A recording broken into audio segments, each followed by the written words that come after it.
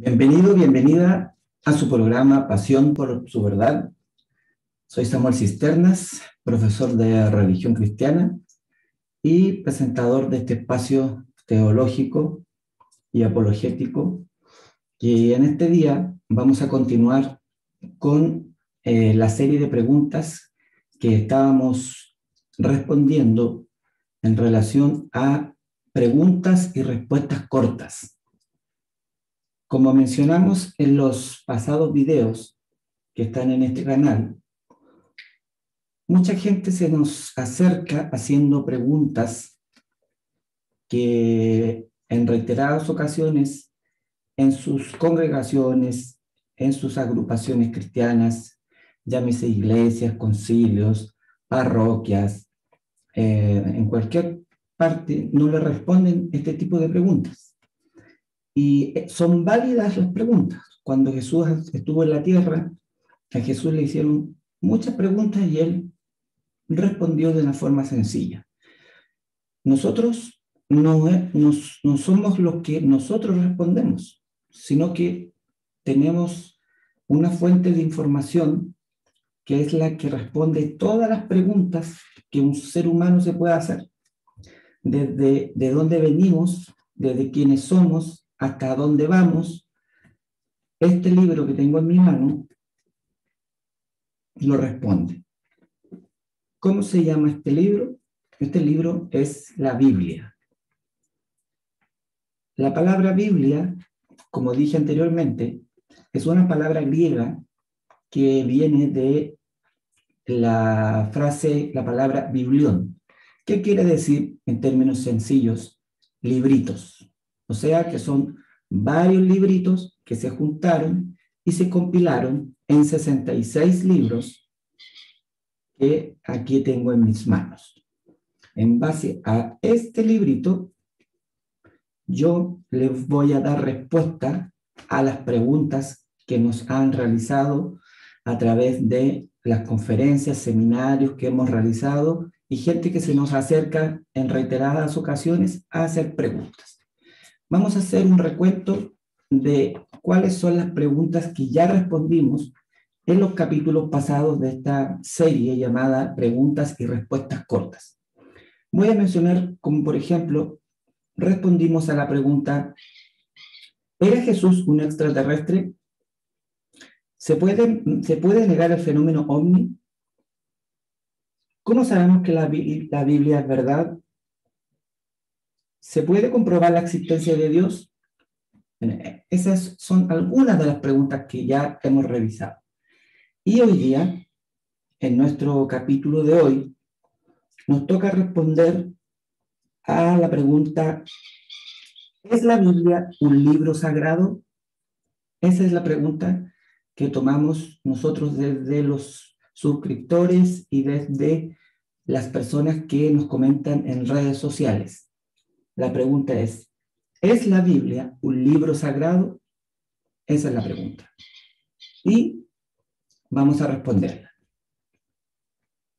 Como mencioné anteriormente, la Biblia, también conocida como la Tanaj por los judíos ortodoxos, tenemos que separar que el cristianismo y el judaísmo tienen cosas diferentes y cosas en común.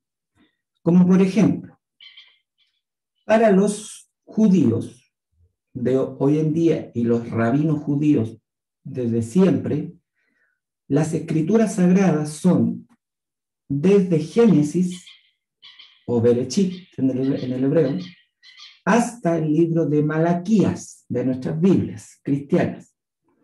Lo que nosotros le llamamos Antiguo Testamento, para ellos esa es la completa revelación a lo cual ellos le llaman la Tanaj, que también se subdivide y ellos también la nombran como la Torá, que viene siendo, Torá significa instrucción, que son los cinco libros primeros de Moisés, digamos, Génesis, Éxodo, Levítico, Número, Deuteronomio, para ellos esos cinco que nosotros le llamamos el Pentateuco, ellos le llaman la Torá. Entonces, a veces ellos se refieren a la Torá haciendo alusión a como si fuera toda su Biblia. También ellos dicen la Torá, la ley de Moisés, los profetas, los escritos y libros de sabiduría. Y para ellos, los libros que comienzan en la hojita en blanco, que está en su Biblia al medio, cuando comienza desde Mateo en adelante, esos libros para ellos no son sagrados ni son inspirados por Dios, llámese Mateo, Marco, Lucas, Juan, las cartas, cartas de Pablo, cartas de Pedro, Apocalipsis. Ellos dicen, esos son un libro que es de los cristianos, pero nosotros no lo aceptamos. Hasta Malaquías es solamente para ellos la revelación divina de que entregó Yahvé, Yahweh, Jehová, como usted le quiera llamar, a Moisés y a los profetas. Y ahí se termina. Para nosotros, la Biblia es un libro sagrado desde Génesis hasta Apocalipsis o el libro de revelaciones. Y cuando nosotros hablamos de libros sagrados, tenemos que tomar en cuenta de que no solamente en el mundo existe la Biblia, sino que también hay otras religiones que aluden a que ellos tienen también un libro sagrado. Voy a mencionar solamente algunas, como por ejemplo, eh, en el Islam, su libro sagrado es el Corán el Corán es el equivalente a nuestras Biblias, a lo que nosotros llamamos Biblia, que en realidad es la escritura. Eh, el Corán, dentro de sus peculiaridades, también nombra a Jesús, pero como un profeta. Tenemos también libros como el Ramayana de, Buda, eh, el Tripitaka de los Vedas, tenemos eh, libros como, por ejemplo, los escritos de, José Smith, que es más conocido como el, el libro del Mormón, o, el un Nuevo Testamento de Jesucristo. Tenemos el Atalaya, tenemos eh, el Manual de Doctrinas y Convenios, eh, y así tenemos una infinidad de libros que se les denomina sagrados. Pero a diferencia de todos esos libros que yo mencioné anteriormente, el libro que le gana a todos esos libros en el área, llámese física, matemática, antropológica, geológica, biológica, genética, histórica es la Biblia, porque la Biblia es el único libro que fue escrito por más de 40 autores que ninguno de ellos se conoció entre sí por un periodo de 1600 años aproximadamente, y ninguno de los autores en su mayoría se conoció y recordemos que en ese tiempo no había Facebook, ni había Instagram, ni Twitter, ni nada para conocerse. Y algunos eran pastores de ovejas, otros eran reyes, otros eran ayudantes en las cortes, otros eran eh, personas que se dedicaban a, a labrar la tierra. Pero cuando uno junta los 66 libros escritos por esas personas a lo largo de esos milenios, la unidad literaria que, que tienen esos 66 libros es una unidad literaria que no puede ser posible de que eso haya sido hecho por humanos, porque dentro del mundo de la literatura, de la literatura mundial, no existe en la literatura algún libro que uno pueda decir, hace cinco años atrás se escribió un libro que ahora otra persona escribió y coincidió con lo que la otra persona había escrito, pero sin haberlo conocido. No sé si me doy a entender. Mm, dentro del mundo de las probabilidades, es muy improbable que alguien pueda llevar una línea de pensamiento igual a otra en, de otra época sin haberlo conocido o poniéndose de acuerdo. En este caso, los 66 libros que componen toda la escritura es una obra literaria que lleva un hilo tanto de historicidad como de eh, eventos, como de objetivos, porque desde el Génesis hasta Apocalipsis, la Biblia habla sobre un plan de redención, que ese es el fin último de lo que contienen las Sagradas Escrituras. Es completar un plan, un proyecto que hizo Dios llamado el plan de redención. Ahora la pregunta es, ¿y qué significa plan de redención? Bueno, cuando hablamos de la palabra redención, si nos remitimos a el diccionario, significa volver al estado natural de las cosas. Repito, la palabra redención significa volver al estado natural de las cosas.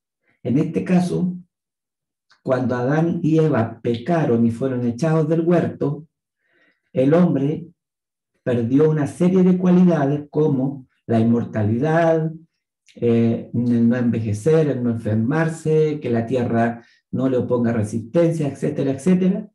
O sea, pasamos a ser seres caídos. Entonces, ¿cuál es el objetivo? Volver al estado natural de las cosas, o sea, a como era en el principio en Adán y Eva y en el huerto del Edén.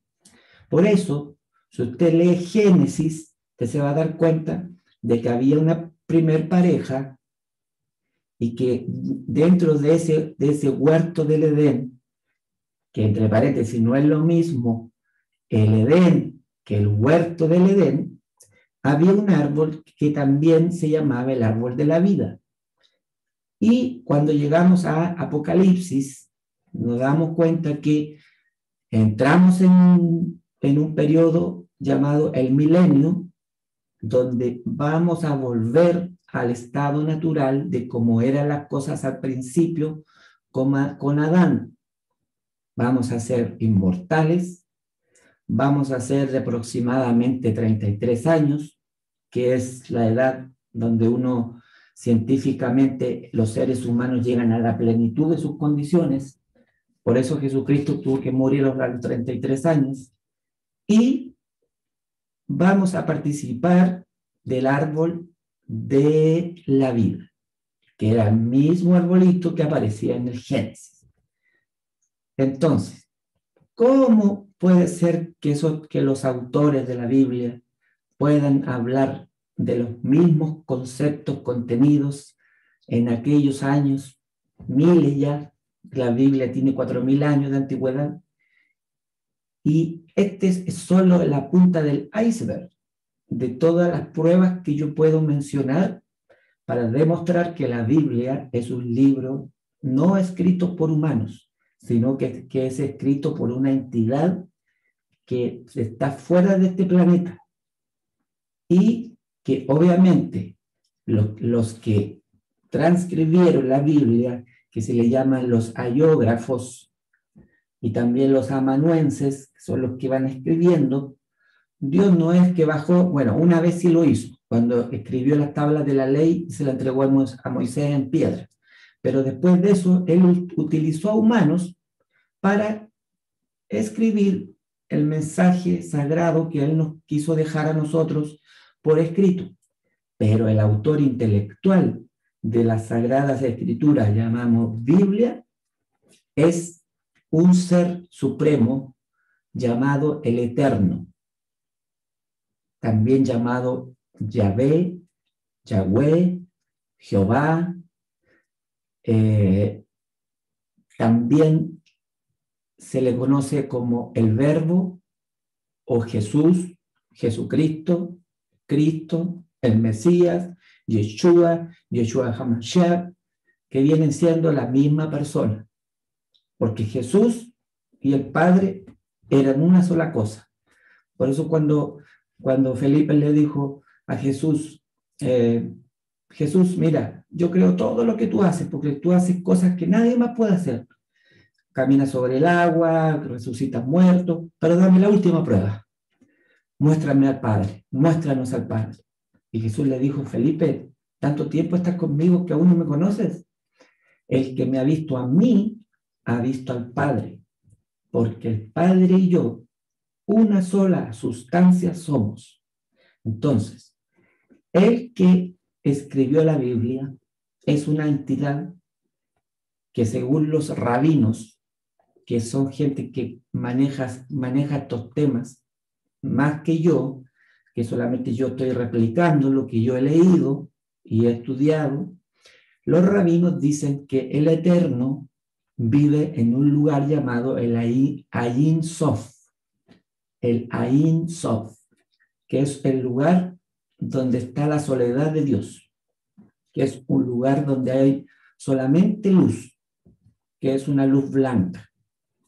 Esa entidad llamada el Eterno, que cuando se manifestó, se le conoció como el Yo Soy, el gran Yo Soy, Jehová, Yahvé, Yahweh, Jesús, Jesucristo, fue el autor intelectual de este libro maravilloso sagrado por el cual puedo decir de que la Biblia, como decía la pregunta de la, de la persona que la estaba haciendo, que era, la pregunta era, ¿es la Biblia un libro sagrado?